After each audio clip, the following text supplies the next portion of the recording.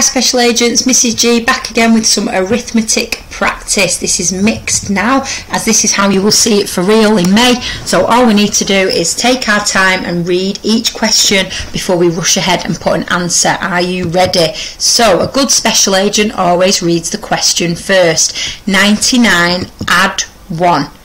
Add 1. Just count on one more. 99 add 1. That's it.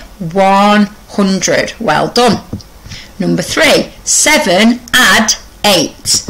7 add 8. So I'm still adding. Okay, now there are two ways that you can work this one out. You could put 8 in your head and count on 7. Okay, or I, I know that 8 is 1 more than 7. I would use what I know about double 7 and add 1 extra but if you don't understand that let's do it the way that we know works. Let's put eight in our head seven fingers up and let's count on. Eight in our heads count on. Eight nine 10 11 12 13 14 15 well done. 15 fantastic. Number four 22 add 7 another add Biggest number is 22, that's what we're going to start counting from. Seven fingers up. Are you ready? 22 in your head, seven fingers ready to count on. 22 in our heads 23, 24, 25, 26, 27, 28, 29. Well done if you got the answer faster than me, special agents. Excellent work. 5. Something equals 15 take away 2. So, don't panic. The equal sign means the same as. We need the same number on both sides of the equal sign. We call the equal sign as a balance.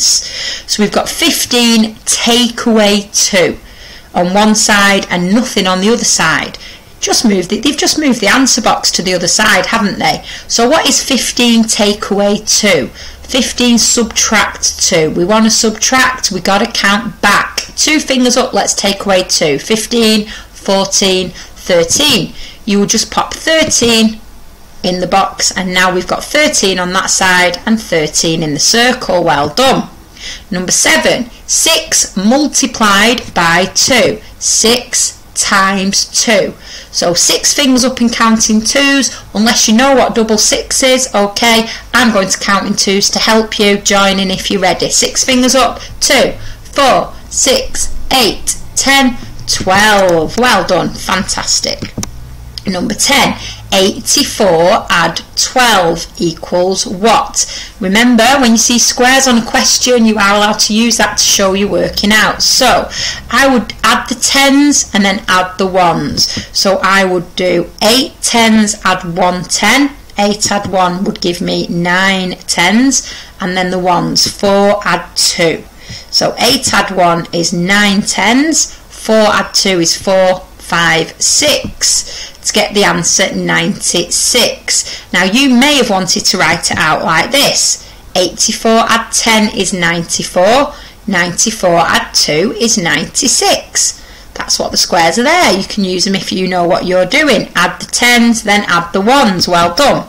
Number 14, half of 14 equals. Now, when we see a fraction, it's the same as the divide sign in maths. A fraction's got a line and something above the line and something below the line, just like the divide sign. So we only divide from the biggest number. So this question can be worked out two ways. You can do 14 divided by 2. You can start with no fingers up and counting twos. Let's do that. 2, 4, 6, 8, 10, 12, 14, 7. Half of 14 is 7, chop chop. Or, if you can, if you remember how we teach you to learn fractions of another number that we can't count in, you could draw two boxes and share, divide 14 equally between two. Let's have a go at that way. And either way, guys, if your brain is telling you draw the boxes, share it out, because you know that that's how we would work out tougher fractions. Do it that way. Mrs. G does not mind. We can use more than one method now that we're special agents.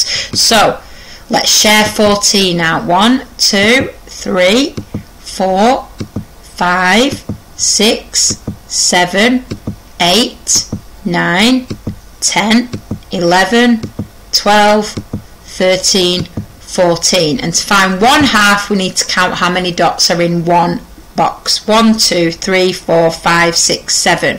When you see half of something, we are dividing it by 2 and we have to start with the biggest number. So half of 14 is 7. Okay, well done.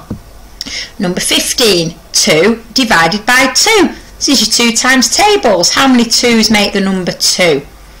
Get ready to count in 2's. 2. Ah, that didn't take long. 2 divided by 2 or half of 2 is 1. Great dividing, well done.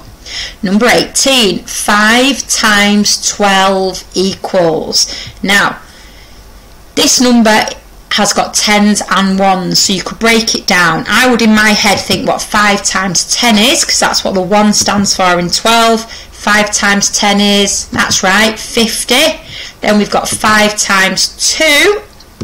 5 times 2 equals, two fingers up counting 5s, 5, 10, that's right. 50 add 10 more is 60. Well done. 5 times 12 is 60.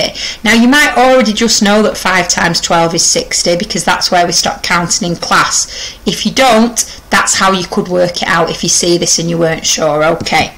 Number 19, 85 take away 21 equals. So we're subtracting. We've got to count back. We want to subtract. Now this squares again, which means you can do some working out if you need it.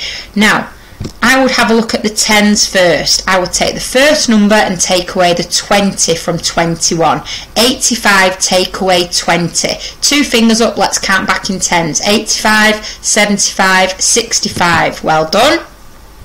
Then I will take the 65 and take the 1 away from the 21. 65 take away 1, not 65 take away 10. 65 take away 1 is 65 in our head, 64.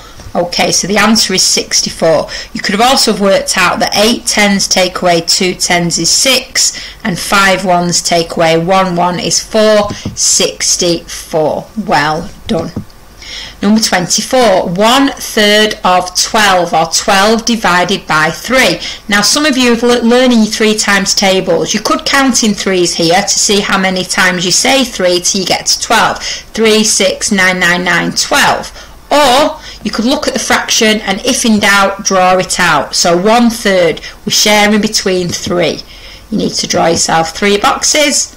Let's find how many we would put in each box. Let's divide 12, equal it by 3. Let's split 12 into 3 equal groups. 1, 2, 3, 4, 5, 6, 7, 8, 9, 10, 11, 12. So the bottom number, the denominator of the fraction, tells you how many boxes to share it between. We've done that. The top number, the numerator, tells us how many boxes we need to look in. So the top number in the, in the fraction a third is 1.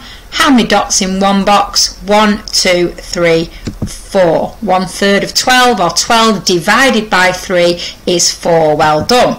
Fantastic. Leave me a like if you got most of those right. See you next time.